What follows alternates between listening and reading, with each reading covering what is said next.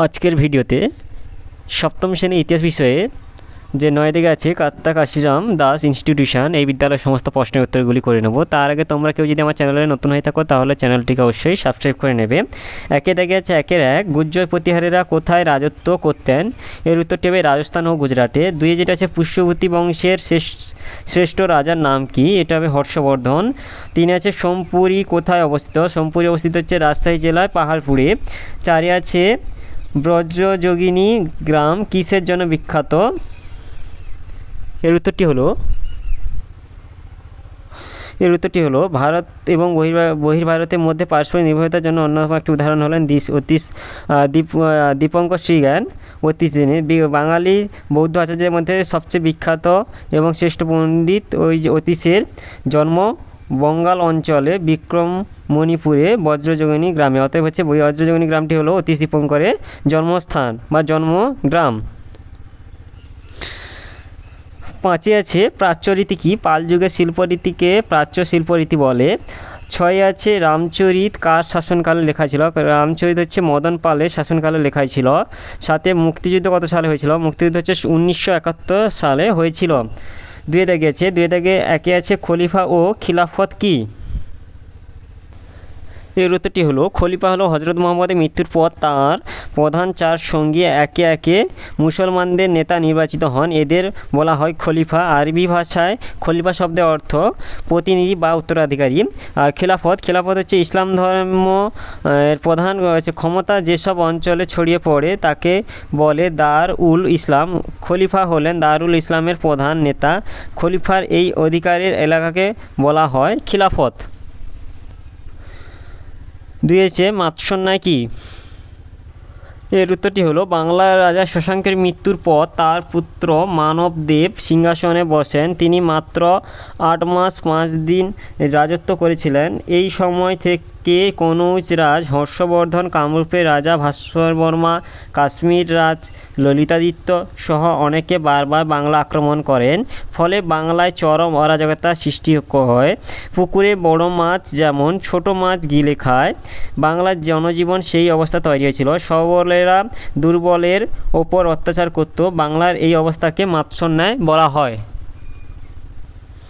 তিনি আছে আরব উপদ্বীপের চতুর্সীমা লেখো এর উত্তরটি হলো, আরব দেশটি পূর্বে পারস্য উপসাগর, পশ্চিমে লোহিত সাগর এবং দক্ষিণে আরব সাগর দ্বারা বেষ্টিত পৃথিবীর বৃহত্তম উপদ্বীপ।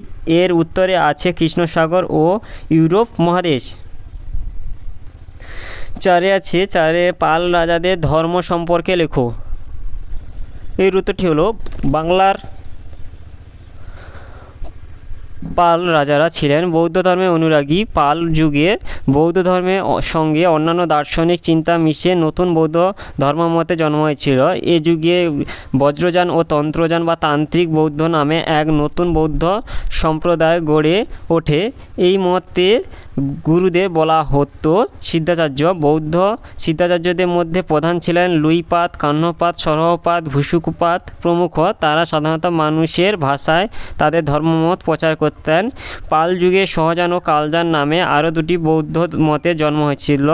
সহজানকে সহজিয়াও বলা হতো। এরপর তিনে দাগ তিনে দাগে যেটা আছে তিনে দাগে আছে টিকা লেখো টিকা লেখো হচ্ছে নালন্দা। এর উত্তরটি হলো বর্তমান ভারতে বিহার রাজ্যের পাটনা জেলার অন্তর্গত রাজগীরের কাছে নালন্দা বিশ্ববিদ্যালয় ধ্বংসাবশেষ আছে। সম্ভবত গুপ্ত সম্রাটদের আমলে খ্রিস্টীয় পঞ্চম শতকে নালন্দা বিশ্ববিদ্যালয় প্রতিষ্ঠিত হয়। তবে সম্রাট হর্ষবর্ধনের রাজত্বকালে নালন্দা বিশ্ববিদ্যালয়ের খ্যাতি দেশ বিদেশে ছড়িয়ে পড়ে। গঠন, নালন্দা বিশ্ববিদ্যালয় ছিল শুধু সুদৃশ্য ও সুউচ্চ অনেকগুলি অট্টালিকা নিয়ে গঠিত ও চতুর দিকে প্রাচীর বিস্তৃত নালন্দা বিশ্ববিদ্যালয় আটটি মহাবিদ্যালয়ের সমন্বয়ে গড়ে উঠেছিল। পঠন পাঠন, নালন্দা বিশ্ববিদ্যালয় ছিল বৌদ্ধ, জ্ঞানচর্চা, পীঠস্থান এবং পবিত্র তীর্থক্ষেত্র। এখানে পড়ানো হতো বৌদ্ধ শাস্ত্র, বেদ নীতিশাস্ত্র আয়ুর্বেদ শাস্ত্র, ব্যাকরণ, গণিত প্রভৃতি বিষয়, ছাত্র শিক্ষক। নালন্দা বিশ্ববিদ্যালয়ের শিক্ষার মান ছিল উন্নত, তাই এখানে শুধু চীন, তিব্বত, কোরিয়া, মঙ্গোলিয়া, সিংহল ও মধ্য এশিয়া বিভিন্ন দেশ থেকে ছাত্ররা অধ্যয়ন করতে আসতো। ছাত্রদের বিনা পয়সায় খাবার জামা কাপড় ওষুধপত্র, শয্যাদ্রব্য সহ প্রয়োজনীয় সব জিনিস দেওয়া হতো। নালন্দার সমৃদ্ধির যুগে এখানে দশ হাজার আবাসিক ভিক্ষু থাকতেন।